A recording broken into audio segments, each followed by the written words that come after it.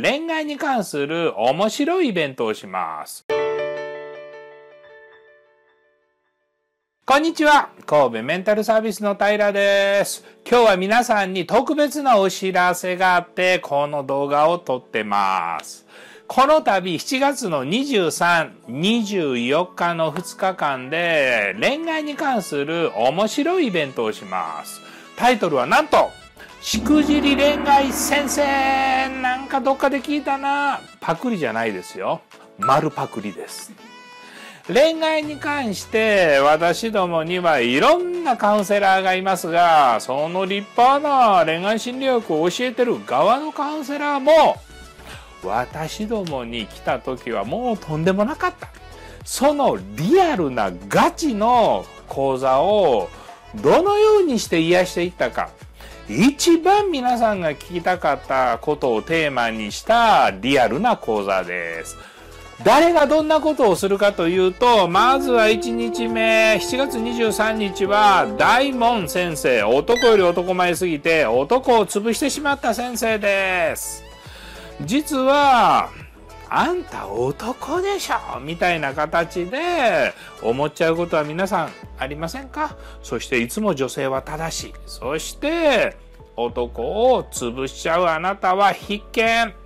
続きまして、午後1番は桑野亮先生。もう福岡のサラブレッドと言われ、最高のお坊ちゃんでイケメンなのに、実は女性にめっちゃビビっちゃった。今は最高に幸せなパートナーシップ、結婚して幸せになってますが、その道のりははるはるか遠かったわけですね。なんか優柔不断な彼を持ってる皆さんにとっては必見の講座ですよ。そして午後14時55分、結婚詐欺ならぬ離婚詐欺に遭ってしまった吉村博恵先生。これはですね、私と二人で掛け合いをしていきますね。吉村先生っていうのは今名古屋地区の研修生を教えてる側の先生なんですけどその昔は本当に痛々しかった。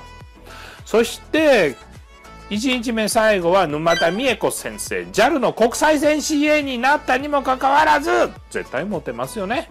振られまくっちゃった先生です。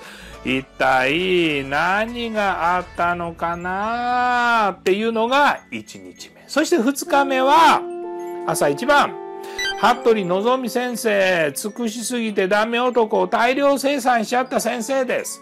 尽くす与えるっていうことはいいんですが、愛させてあげる、受け取るっていうことをしてこなかったら、どんどんわがまま男になっちゃいますよね。はこれは私の今の課題だと思う人。服部先生から学びましょう。そして昼から一番は小川のり子先生。プロポーション抜群、キュートで可愛かった。若い頃の小川先生が振られ続けた。どうも愛される前に追っかけすぎたことが原因だったらしいですよ。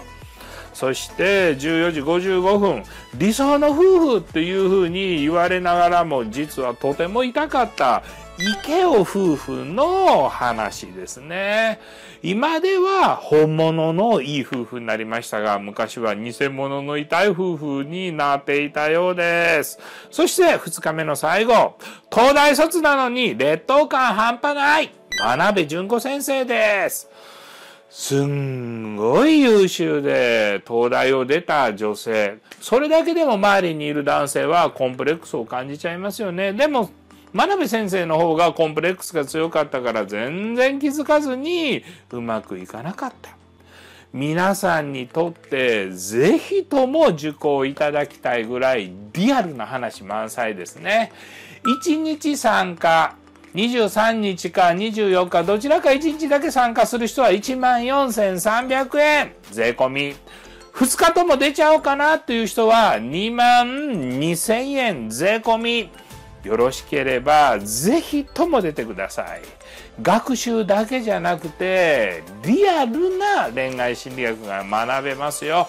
超おすすめです。よろしくどうぞ。